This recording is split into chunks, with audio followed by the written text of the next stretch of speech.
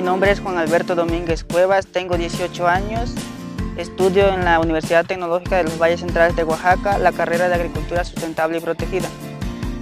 Ya no pensaba estudiar porque pensé que todo lo que a lograrlo trabajando en el campo y de esa manera pues no tenía opciones para seguir estudiando.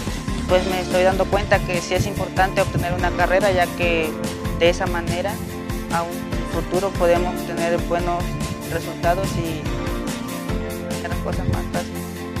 Pues les diría que estudien, que aprovechen la oportunidad porque a un futuro ya no es mejor tener una carrera, estudiar como peones o algo así.